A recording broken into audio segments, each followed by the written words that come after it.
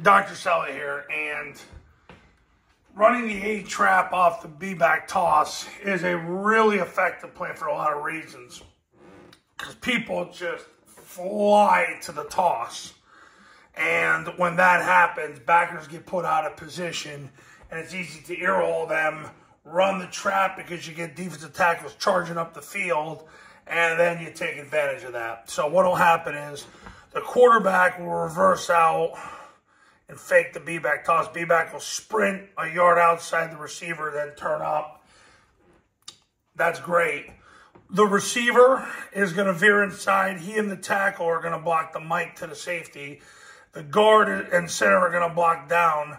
The play side guard is going to trap the first person from a two technique out. The tackle is going to scoop and block the spine of the center.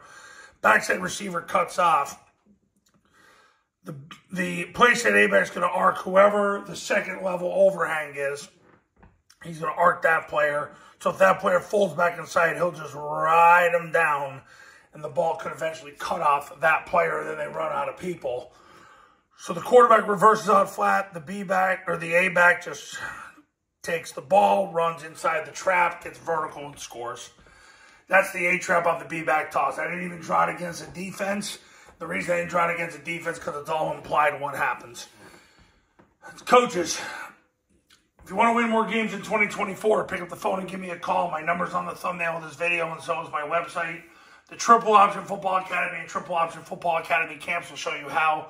Go to tripleoptionfootball.com slash testimonials where you can see all the success stories that come from the camps in the academy, and I can help you win big in 2024.